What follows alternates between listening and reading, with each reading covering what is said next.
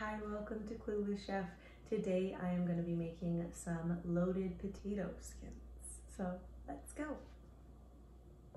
So the first thing you want to do is turn on your oven to preheat at 425 and then we are going to thoroughly wash our rustic potatoes and make sure the skin is super clean because we are going to be eating it today.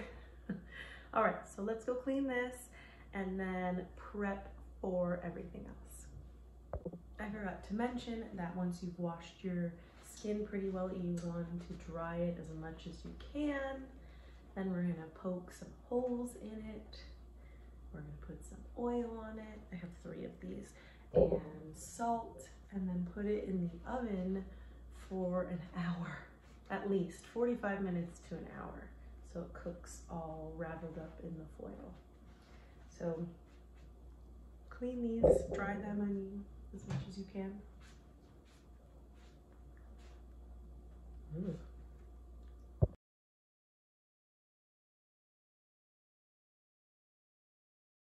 So you're gonna put those potatoes in the oven for 45 minutes to an hour so it cooks.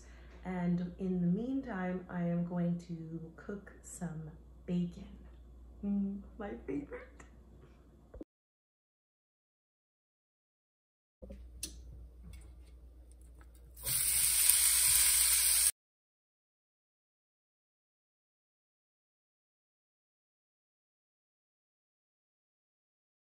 Okay, it just finished. I'm gonna pull it out of the oven. I'm gonna let it cool before I do anything but keep your oven on. And then we're going to scoop out the insides of the potato once it's cooled down, season it, and put it back in and crisp it and cheese it and everything, all the good stuff. Let's go take it out. It is so warm. I mean, you can even hear this, the sizzle. Do you hear that? It's like insane in there. Anyways, don't want to burn those fingers, so let them set by themselves. I'm going to try to open the foil to let it cool down a little bit more. So as it's cooling, I'm going to set up my butter seasoning to put on top of the scooped out skins. And that way it's all prepped and ready to go so that I don't have to be scrambling like I normally do. So let's go get the seasoning all set. And you can use, by the way, any seasoning that you want. I'm just picking what I have in my cabinet and winging it.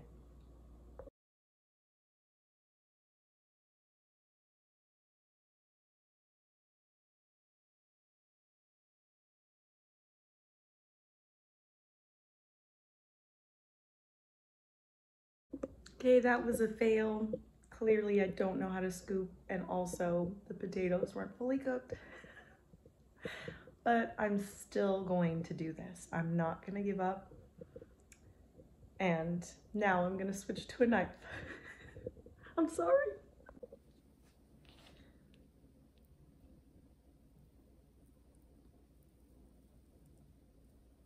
Oh, that was easier.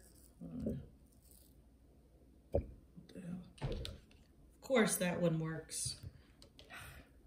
Look at those.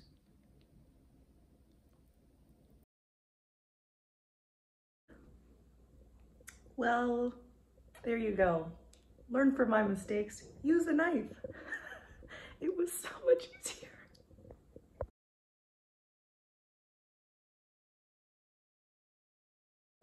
Okay, after that big defeat, but great comeback.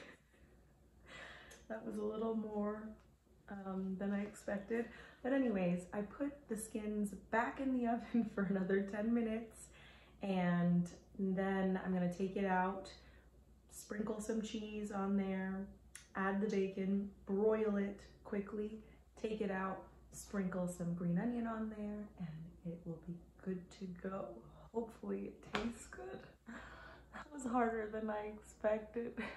Why?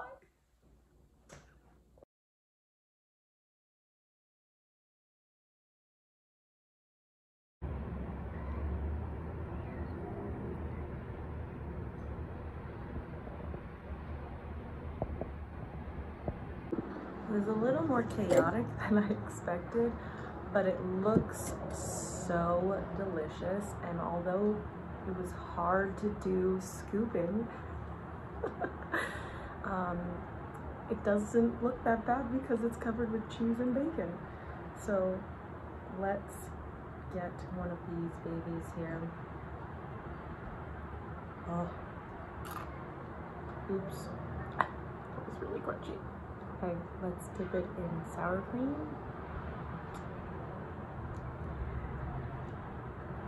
Mm.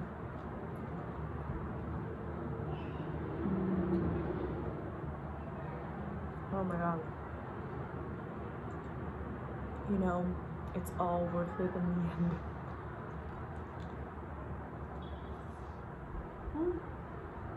Mm -hmm.